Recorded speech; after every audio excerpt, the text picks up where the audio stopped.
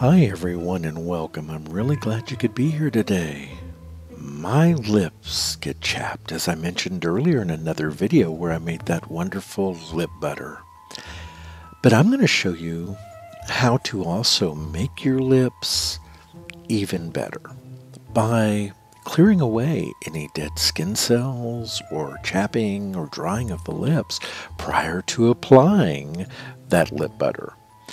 And by using a bit of cinnamon spice, some mango butter, some coconut sugar, and wonderful manuka honey, I am making this blend today. And wow, what a joy this is because not only does it clean your lips and prep them, but it also leaves behind some of that wonderful moisture from the manuka honey and from that mango butter. And then when you apply the butter afterwards, oh, it's luscious. So the first step I'm going to take is to slowly warm the mango butter. I'm not going to melt it fast, and alternately you could do this in a double boiler to protect those butters. But I'm I have it on a rheostat so that I can actually reduce the heat here. So this is a little over 100 degrees. And I simply let it sit here during that time, watching it, stirring it, until it was melted. And no more than that.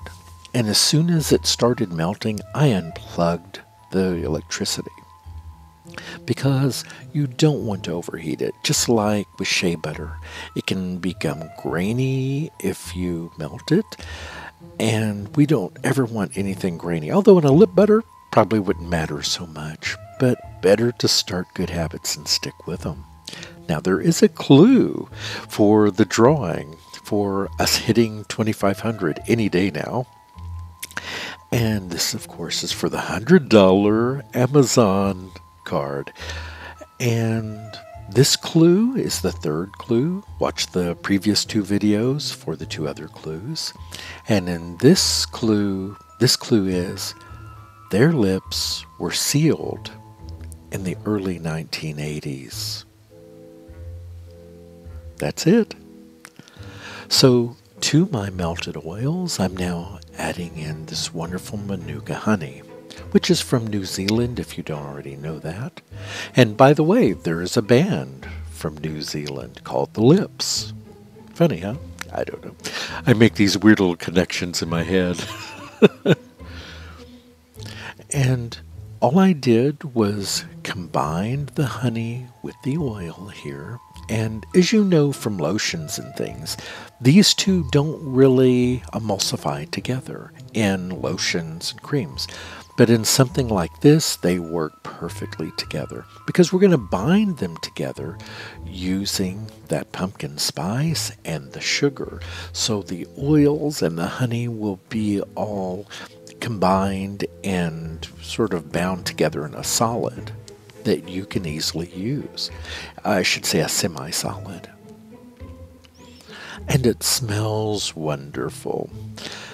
If you put pumpkin spice seasonings in a soap, you do get some of that scent, but it fades rather quickly. But in something like this, it really sticks. Now, I will be using some small plastic HDPE uh, containers to put these in that I already had. But when these are all gone, I will be switching to the craft paperboard containers. And the reason for that is that I'm just trying to be a little more environmentally conscious. And not only does it smell wonderful, but it tastes great too. The honey really absorbs the flavors from that pumpkin spice, and you can taste it on your lips. But don't eat all this, you want to use it for your lips.